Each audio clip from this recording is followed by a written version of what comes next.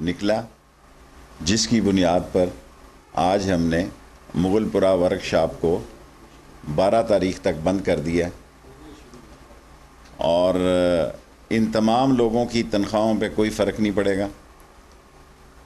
اس کے علاوہ carriage factory اور ڈیزل ورک شاپ فیکٹری اور رسال پور فیکٹری، اس میں جتنے اوور ففٹی ایئرس کے لوگ ہیں وہ اپنے انچارج کو درخواست دے کے چھٹی پہ جا سکتے ہیں، ان کی تنخواہوں کا بھی کوئی فرق نہیں پڑے گا۔ اور ریلوے کو ایک ارب روپیہ ہفتے کا نقصان ہو رہا ہے، لیکن یہ قومی مسئلہ ہے۔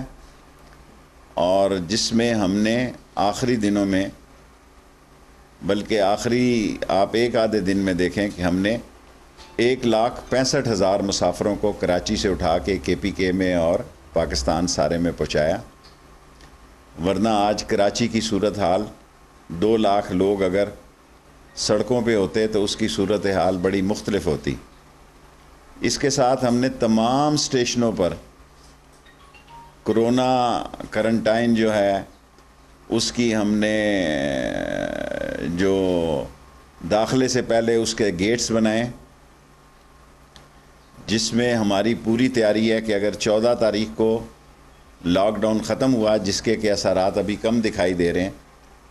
ان کیس اگر یہ ختم ہوا اور وزیر اعظم صاحب نے ہمیں اجازت دے دی، تو ہم کچھ ٹرینیں فل فور پندرہ تاریخ سے چلائیں گے۔ بیالیس، ہماری ایک سو بیالیس ٹرینیں چلتی ہیں روز کی، لیکن اس میں بیس ٹرینیں یا بائیس ٹرینیں ہم چلانے کے لیے تیار ہیں۔ اور ہمارے مزدوروں نے ان حالات میں اپنے کوچز کو جو کہ ظاہر ہے چالیس پچاس پچاس سال پرانی ہے، ان کو ٹھیک کرنے میں ایک بڑا کلیدی کردار ادا کیا ہے۔ اور ہمارے کوئی سولہ سو پچہتر جو ہیں، کلی ہیں، کل کیبنٹ میں میں ان کا کیس لے کے گیا ہوں۔ اور میں ثانیہ نشتر کا مشکور ہوں کہ پرائم منسٹر کی ہدایت تھی۔ انہوں نے کہا جی کہ جو ون ایٹ کیا نا؟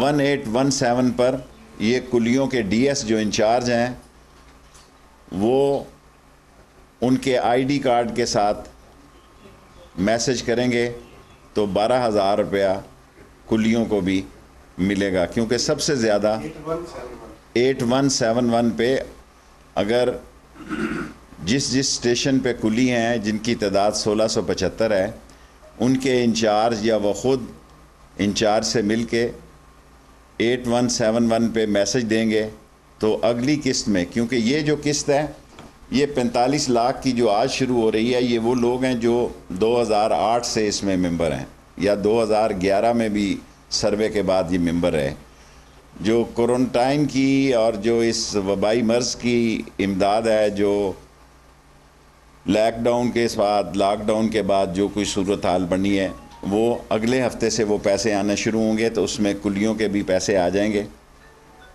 یہ جو آج ایک کرونا وائرس کا کیس نکلا ہے، یہ کوئی ورک شاپ سے نہیں، یہ باہر سے ایک وہاں آدمی آیا جس کا ٹیسٹ جو ہے وہ مثبت نکلا۔ اس بنیاد پر آج ہم نے بارہ تاریخ تک تاکہ ان چار پانچ دنوں میں ہم اپنی ساری ورک شاپ کو ٹھیک کر سکیں اور مرض سے کورنٹائن سے اس کا پورا اینٹی کورنٹائن سارا ہم اس کا میڈیکلی اس کو ٹریٹ کریں گے اور بارہ تاریخ تک ہم نے مغل پورہ ورک شاپ کو آج بند کر دیا ہے اور ہمیں ہماری فریٹ ٹرین ویسے ہی چل رہی ہیں۔ کچھ شکایت ملی ہے کہ لوگ فریٹ ٹرینوں کے ساتھ بھی چڑھ جاتے ہیں۔ آج ہم نے اس کا بھی نوٹس لیا ہے کیونکہ لوگ اپنے شہروں کا رابطہ بالکل ختم ہو چکا ہے۔ اور ان لوگوں کے خلاف ہم نے ایکشن لیا انہیں شو کاز دیا جن کی یہ شکایت موصول ہوئی ہے کہ شاید لوگ زبردستی چڑھ جاتے ہیں یا چڑھائے جاتے ہیں، ان کے خلاف بھی ایکشن لینے کا فیصلہ کیا ہے۔ پاکستان ریلوے ملک کے موجودہ حالات میں حکومت کی ہدایت کے مطابق بند ہے اور ہم مشکور ہیں شیخ حفیظ صاحب کے اور وزیر اعظم عمران خان صاحب کے کہ ہمیں جو لاس مل رہا ہے، اس کی کچھ نہ کچھ سبسڈی ملے گی۔ اور تمام مزدوروں کو تنخواہیں وقت پہ ملیں گی۔ تمام لوگوں کو پینشن جو ہے وہ وقت پہ ملے گی۔ ریلوے کی حد تک میں اس لیے یہ اعلان کرنا چاہتا تھا تاکہ ایک ہم نے نئی پریس کانفرنس کی یہ جگہ ریلوے میں ہی بنائی ہے تاکہ آپ لوگوں سے اس کا جگہ کا بھی صاحب ایک تو یہ بتا دیں جو پچاس سال سے زائد عمر کے آپ نے کہا چھٹی پہ جا سکتے ہیں وہ کتنی چھٹی پہ جا سکتے ہیں؟ دوسرا ابھی تک تو ہم نے یہی چھٹی دی ہے جی تیرہ تاریخ تک۔ اتوار تک چھٹی ہے ان کی۔ بارہ تاریخ تک چھٹی دی ہے سب کو۔ چھٹی سے مراد یہ ہے صرف مغل پورہ ورکشاپ کو بند کیا دس ہزار مزدوروں کو۔ باقی مزدور جو ہیں وہ جو پچاس سال سے زیادہ ہیں کیریج فیکٹری میں اور ڈیزل ورکشاپ میں اور رسالپور میں اسی طرح وہ کام کریں گے۔ اور جو پچاس سال سے زیادہ ہیں وہ اپنے انچارج کو درخواست دے کے۔ جی۔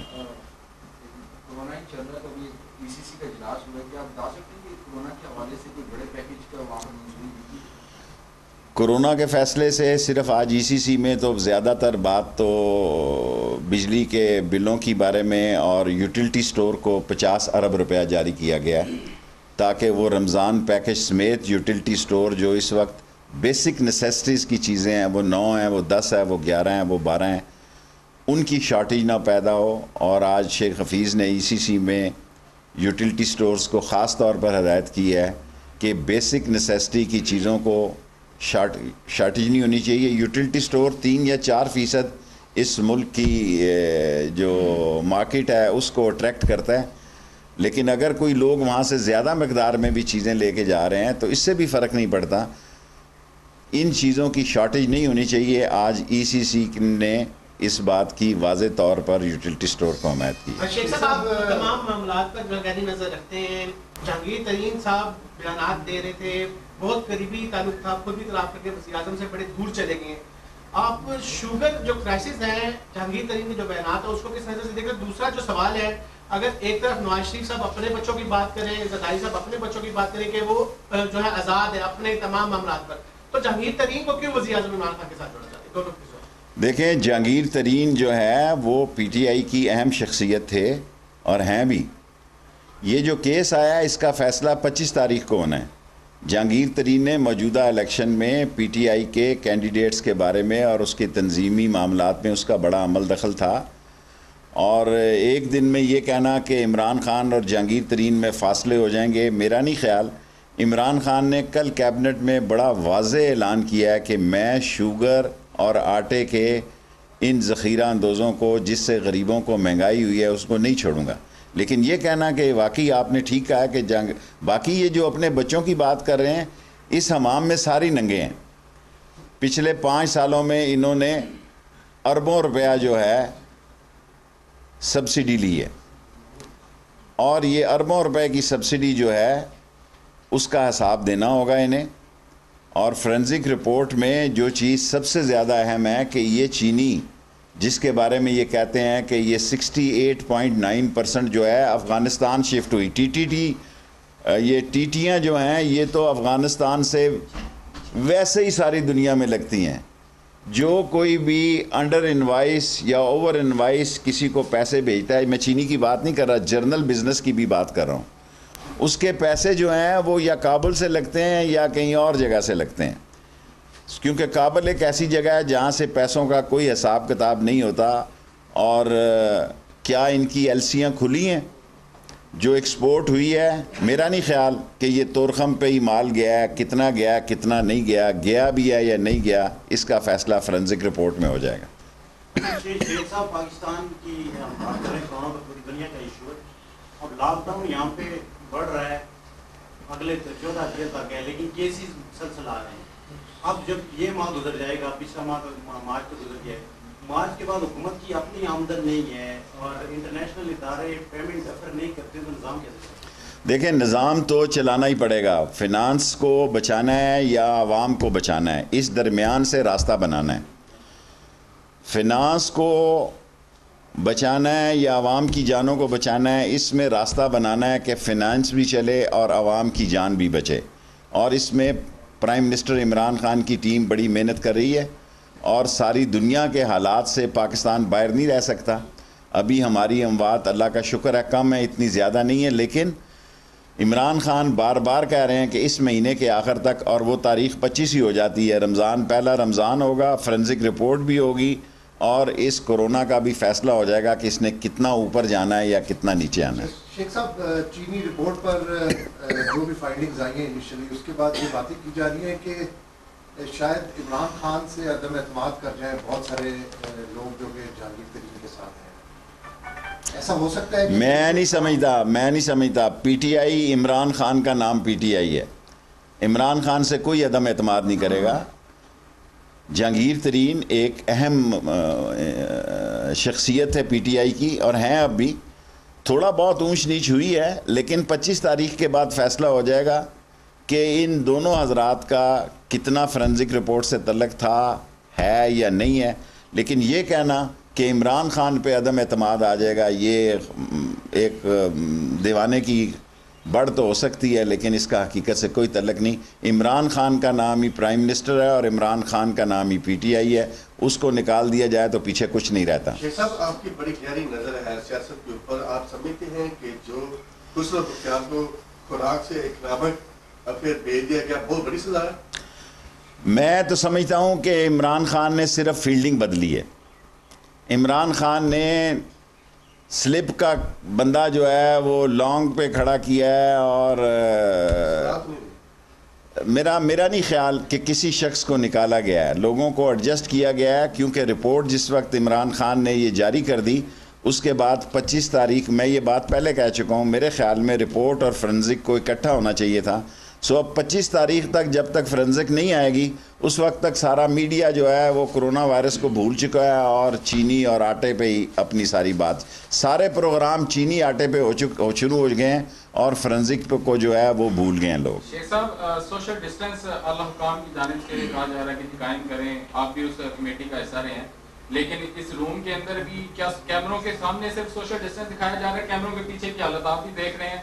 اور باقی پورے ملک میں بھی پنڈی اسلام آباد کے حالات بھی آپ کے سامنے ہیں۔ دیکھیں یہ حالات تو اب ہم ایک بیس بائیس کروڑ کی آبادی ہیں۔ ہم جتنی کوشش بھی کر لیں اس حد تک نہیں ہے یہ ہم نے سیٹیں دور دور اسی لیے لگائی تھی اب آپ بھی قریب قریب بیٹھ جائیں تو میں کیا کر سکتا ہوں؟